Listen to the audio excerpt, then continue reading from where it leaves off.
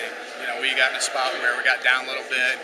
We just kept fighting. We are uh, mentally a lot tougher uh, than we were earlier in the year. And that's that's the best thing about them is they're really coming along. And physically, we got a long way to go, but mentally, we're getting there. Well, I just my coach told me to rebound, and I've I haven't had a rebound most of the whole game, so I just was in the right spot and I got the rebound. It was really nerve wracking.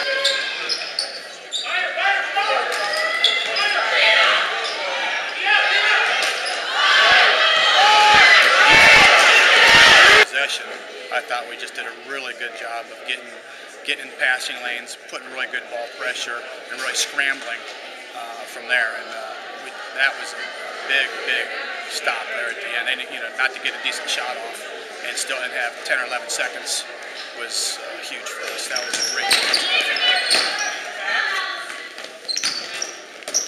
Did a great job getting the ball in the post, and, and our post uh, player Shannon White did a great job of, of, converting those opportunities that she had. And in the fourth quarter, it, it really was. Uh, we had, you know, they fouled us, so we didn't get the ball inside, and we, we just missed a lot of free throws, and uh, we just missed a lot of open shots. We took great shots. I'm very happy with the execution. Uh, you saw it. She's just tough. She's physically tough. I mean, offensively, she you know she knows what to do inside, but defensively, she makes it tough as well. I mean, she blocks some shots, she rebounds, she moves and helps, which a lot of times you don't get a big girl to step out and help when somebody needs it.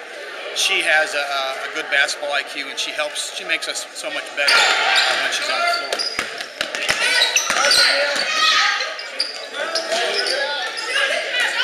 Our kids played really hard.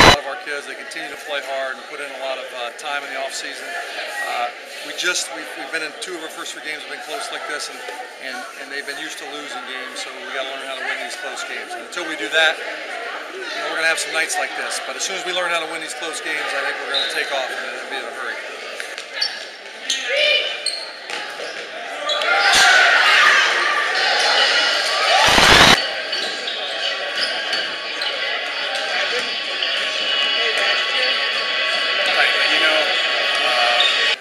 Bob team is going to fight and fight and fight.